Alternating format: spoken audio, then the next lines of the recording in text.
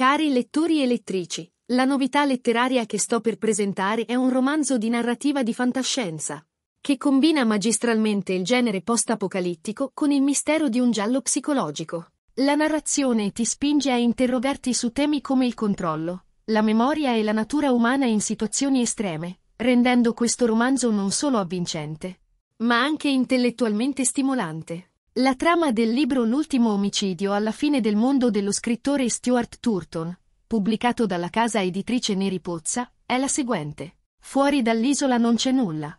Il mondo è stato distrutto da una fitta nebbia che ha invaso il pianeta, devastando tutto e uccidendo qualunque forma di vita. Sull'isola, invece, ogni cosa è idilliaca, la natura è rigogliosa, l'aria pulita e 122 persone vivono in perfetta armonia, sorvegliate da Niema, suo figlio e Paestus e Tea.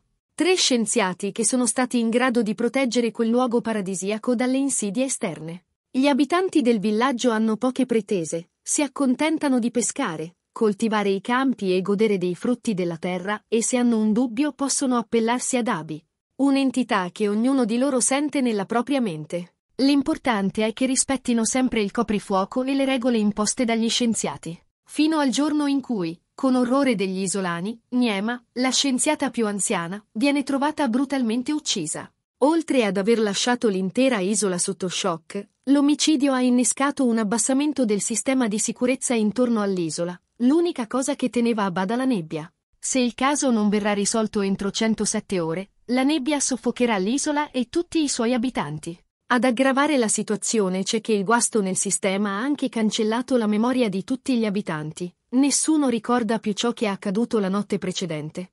Il che significa che qualcuno sull'isola è un assassino e non sa di essere. Nel frattempo, il tempo stringe. Grazie per l'attenzione e buona lettura. Mi piacerebbe sapere cosa ne pensi della trama del libro presentato. Se hai voglia di condividere il tuo pensiero lasciami un messaggio.